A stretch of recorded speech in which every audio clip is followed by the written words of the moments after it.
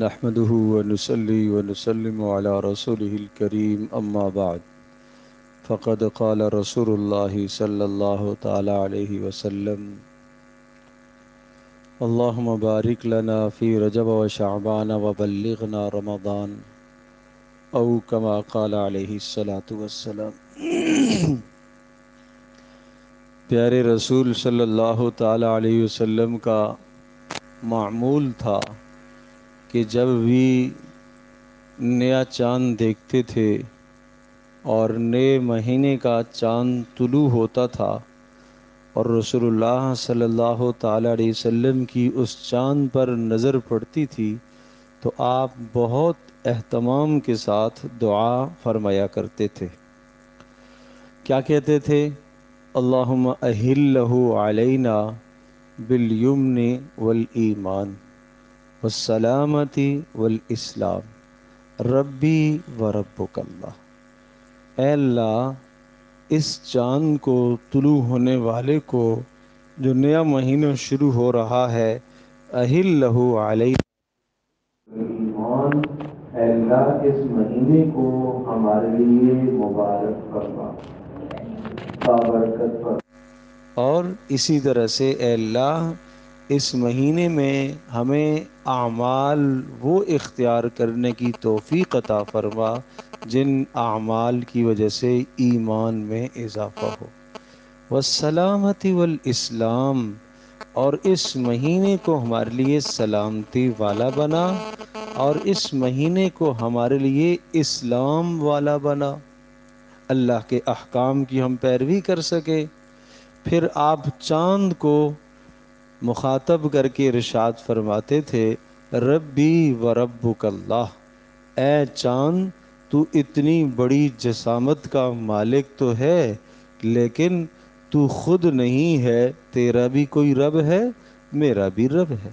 اور جو رب تیرا ہے، وہی رب میرا بھی ہے، اور ہم دونوں کا رب اللہ ہے۔ ہم دونوں کا رب اللہ ہے۔ یہ رد تھا ان لوگوں پر جو لوگ چاند کی پرستش کرتے تھے یا سورج کی پرستش کرتے تھے کہ یہ بڑے بڑے اجرام اور بڑی بڑی جسامت کے مالک آسمانوں میں چلنے والے، پھرنے والے ستارے، سیارے، شاید ان میں کوئی تاثیر ہے اور ان کے اندر الوحیت کی اور معبود ہونے کی کوئی تاثیر ہے۔ رسول اللہ صلی اللہ علیہ وسلم نے اس نظریے کو توڑا اور اس شرک کو باطل قرار دیا کہ نہیں، رب میرا بھی اور چاند کا بھی اور سورج کا بھی سب کا رب اللہ ہے۔ یہ تو دعا ہو گئی ہر مہینے کے آغاز میں آپ پڑھتے تھے۔ پھر جب رجب کا مہینہ شروع ہوتا تو ایک علیحدہ دعا ہے۔ اگر ہم نے پہلے نہیں پڑھی تو آج ہم پڑھ لیں۔ رجب کا مہینہ جب شروع ہوتا تو کیا پڑھتے؟ اللہم بارک لنا فی رجب و شعبانہ اللہم بارک لنا فی رجب و شعبانہ اللہم بارک لنا فی رجب و شعبانہ و بلغنا رمضان. و بلغنا رمضان. کیا معنی؟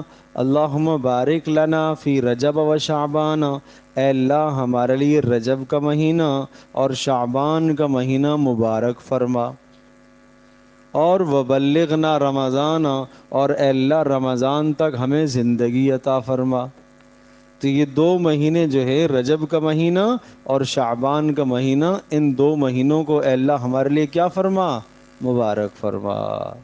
تو مبارک فرما کہ ان مہینوں کے اوقات ہمارے لیے ضائع نہ ہو، ایک ایک لمحہ ہمارا قیمتی بن جائے اور تاکہ رمضان کی آمد سے پہلے پہلے ہم اپنے گناہ معاف کرا دیں اور پھر رمضان کے شروع ہوتے ہی جو اللہ کی رحمتیں برسنا شروع ہوں، ان رحمتوں کے اندر ہمارا حصہ ہو جائے۔ سیزن آ رہا ہے۔ نیکیوں کی کمائی کا بڑا سیزن آ رہا ہے۔ بہت بڑا عظیم و شان موسم آ رہا ہے۔ جو سال میں ایک مرتبہ آتا ہے۔ تو اس دعا میں اشارہ یہ ہوا کہ پیارے نبی صلی اللہ تعالی علیہ وسلم رمضان کے مہینے کی تیاری کب سے شروع فرماتے تھے؟ رجب سے۔ تو ہم اپنے نظام کو ابھی سے بدلنا، سمیٹنا شروع کریں اور باہمی تذکرے کرنا شروع کریں کہ بھائی رمضان کا مہینہ آ رہا، اس مرتبہ تو میں پورا کا پورا رمضان از اول تا آخر اللہ کی اطاعت اور فرما برداری میں انشاءاللہ گزاروں گا اور آج سے میں عزم کرتا ہوں، توبہ کرتا ہوں کہ رجب کے مہینے سے ہی، آج سے ہی میں اپنے گناہ انشاءاللہ چھوڑ دیتا ہوں۔ کون کون نیت کرتا ہے؟ ہم سب اپنے گناہ چھوڑ دیں بھائی، چھوڑ دیں۔ اور آج ہم اپنے گھر والوں کو بھی جا کے توبہ کروائیں گے کہ اب رجب کا مہینہ شروع ہو گیا اور روزانہ یہ تم دعا پڑھتے رہا کرو۔ اے اللہ، ہمارے لیے رجب کا مہینہ، شعبان کا مہینہ مبارک فرما اور رمضان تک ہمیں زندگی عطا فرما۔ اے اللہ، رجب اور شعبان کا مہینہ ہمارے لیے مبارک فرما اور رمضان تک ہمیں زندگی عطا فرما۔ تو اپنے گھر کے ماحول کو ابھی سے بدلنے کی کوشش کرو۔ تاکہ ہر ہر فرد کو پتہ چلے جب کوئی مہمان آ رہا ہوتا ہے تو گھر میں رنگ رغن ہو رہا ہوتا ہے، تیاریاں ہو رہی ہوتی ہیں، شادی ہو رہی ہے، نئی دلہن آ رہی ہے، کمرے سج رہے ہیں اور بھرپور تیاریاں ہو رہی ہیں۔ کیا ہے جی؟ شادی ہو رہی ہے۔ تو کیا رمضان کی آمد سے پہلے بھی کبھی ہم نے کوئی ایسی تیاری کی ہے؟ اپنے نظام کو ہم نے سنوارنا شروع کیا، بہتر کرنا شروع کیا، زندگی کو بدلنا شروع کیا ہو۔ مانا یہ کہ رمضان کی آمد سے پہلے مجھے اور آپ کو، اپنے آپ کو بدلنا چاہیے اور اپنی ماضی اور گناہوں کی زندگی سے توبہ کرنی چاہیے۔ اللہ پاک مجھے اور آپ کو ہم سب کو عمل کی توفیق عطا فرمائے۔ الحمد للہ رب العالمین۔ والصلاة والسلام علی سید الانبیاء والمرسلین وعلى آلہ وصحبہ وامتہ اجمعین۔ ربنا آتنا فی الدنیا حسنة وفي الآخرة حسنة وقنا عذاب النار. اللهم بارك لنا في رجب وشعبان وبلغنا رمضان. اللهم بارك لنا في رجب وشعبان وبلغنا رمضان. اللهم بارك لنا في رجب وشعبان وبلغنا رمضان. اللهم أهله علينا باليمن والإيمان والسلامة والإسلام. ربي وربك الله. اے اللہ ہماری اس مجلس کو قبول فرما. اے اللہ رمضان رمضان کی آمد سے پہلے پہلے ہمیں اپنے گناہوں سے توبہ کرنے کی توفیق عطا فرما۔ اے اللہ اے اللہ اے اللہ، ہماری توبہ کو تو اپنی بارگاہ میں قبول فرما۔ اے اللہ، ہمارے سارے بیماروں کو شفا عطا فرما۔ میرے والد محترم بیمار میں آئی سی یو میں داخل ہیں۔ اے اللہ، اپنے فضل سے، اپنے کرم سے انہیں تو شفا عطا فرما۔ اے اللہ، ان کے ساتھ عافیت اور کرم اور احسان اور فضل والا معاملہ فرما۔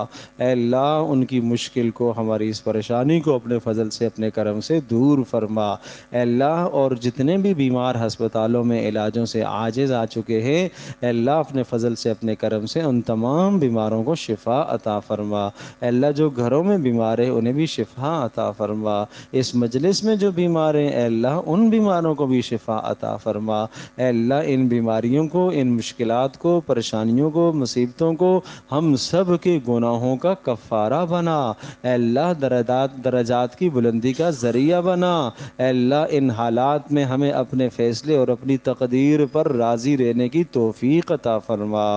اے اللہ، تو ہم سے راضی ہو جا اور ہمیں بھی اپنے آپ سے راضی کر لے۔ وصلی اللہ تعالی علی خیر خلقہ محمد وعلی آلہ وصحبہ متیج معین ورحمۃ یا رحم الرحمین